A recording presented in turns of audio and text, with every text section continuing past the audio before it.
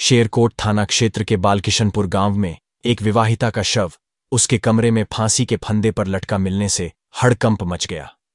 सूचना मिलते ही पुलिस और फॉरेंसिक टीम मौके पर पहुँची और शव को कब्जे में लेकर पोस्टमार्टम के लिए भेजा। पुलिस ने मामले की जाँच शुरू कर दी है। जानकारी के अनुसार बड़ापुर के गाँव नूरपुर अरब निवासी धर्मवीर ने अपनी बेटी सविता, उम्र 25 वर्ष की शादी साल 2021 में शेरकोट के गाँव, बालकिशनपुर के अंकित पुत्र, महिपाल सिंह से की थी।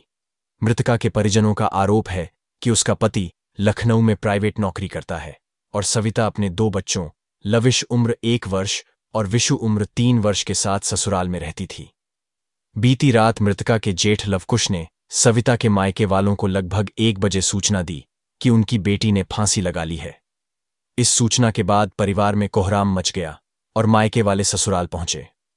उन्होंने ससुराल वालों पर हत्या का आरोप लगाते हुए थाने में तहरीर दी है। मृतका के पिता धर्मवीर ने बताया कि उनकी बेटी पिछले काफ़ी समय से मायके में रह रही थी और पति खर्च के लिए पैसे नहीं देता था। शेरकोट से रंजीत सिंह की रिपोर्ट। ने भेज दी रक्षाबंधन को गया था। रक्षाबंधन को लेकर लोडिया को। आ गया आ गए अपने घर वालों को छोड़ गया। किसी ने कोई रुपया नहीं कोई खर्चा नहीं कपड़ा नहीं लगता नहीं वो सारा खर्चा करा। अब आ गए इन्होंने मेरी लोडिया को। मार।